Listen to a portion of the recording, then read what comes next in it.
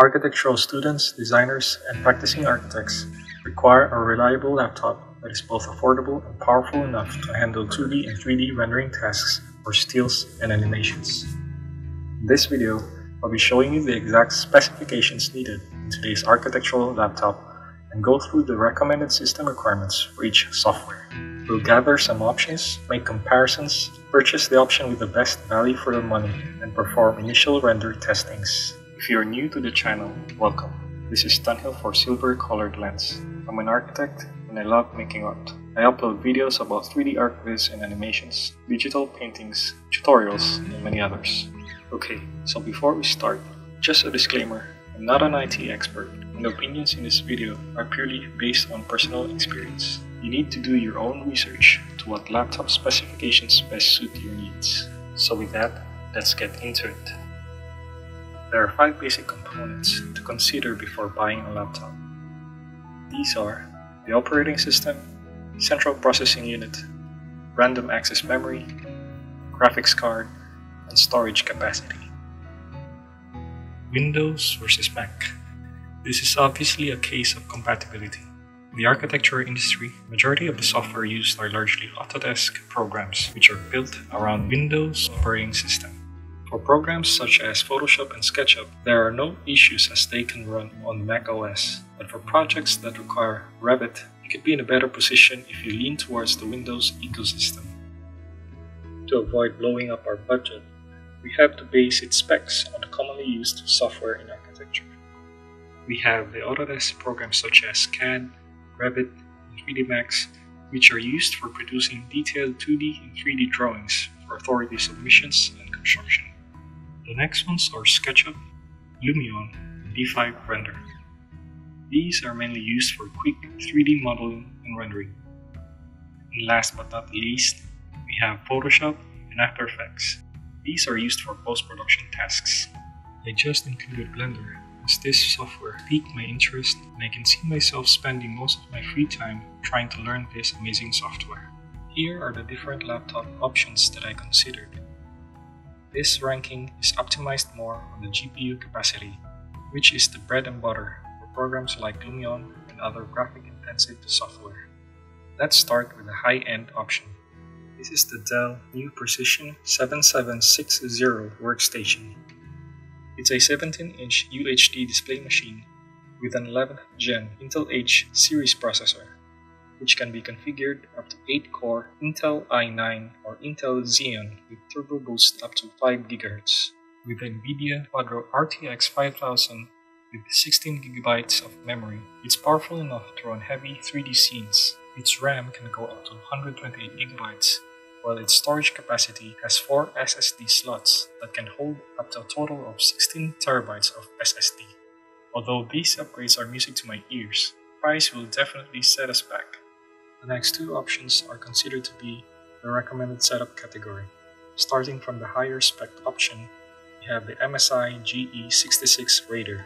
It has a 15-inch UHD display with the latest 11th gen Intel Core i9 processor with the NVIDIA RTX 3080 laptop GPU that is 16GB of memory. The RAM can go up to 64GB and up to 2TB of SSD capacity.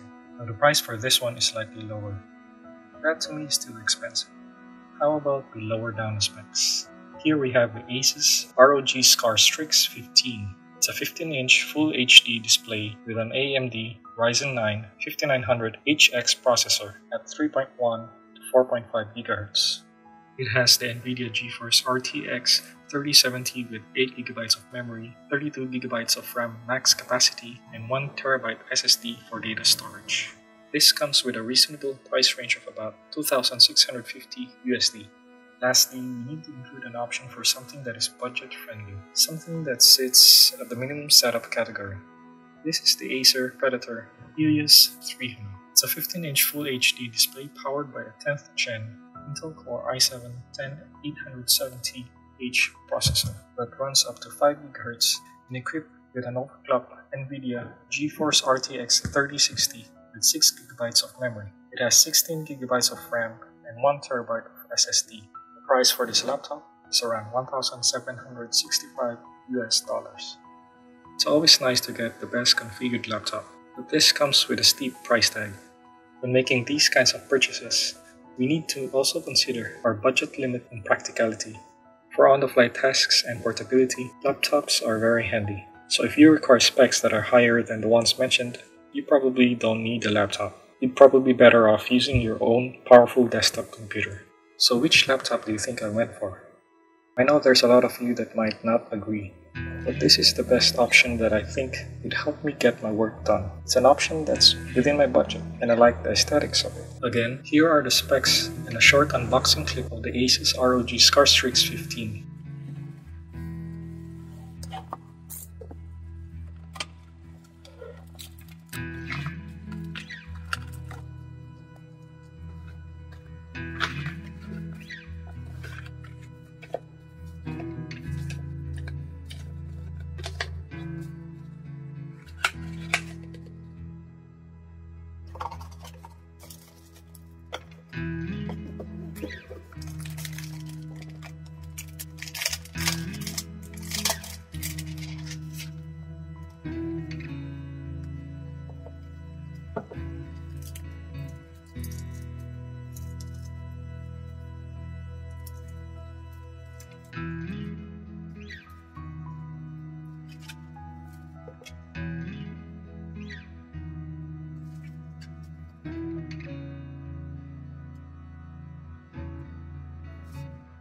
Now let's run some tests and see how this machine performs.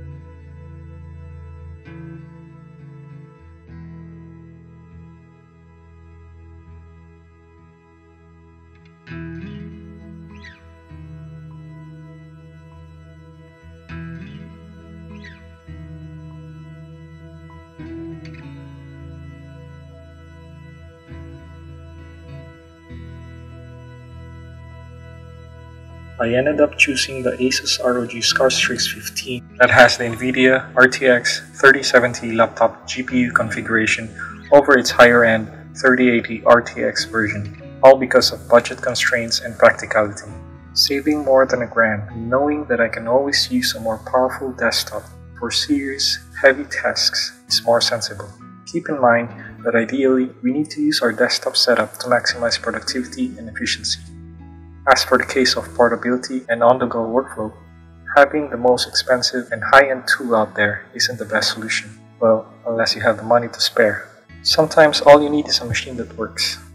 At the end of the day, these are just tools. These should not dictate or limit us from excelling in our craft. So what do you guys think? Are you considering getting one of these for your own use? Let me know in the comments below. Make sure to give this video a like if you found this helpful and turn on the bell icon so that you won't miss any future uploads like this. Thanks for watching and I'll catch you guys on the next one.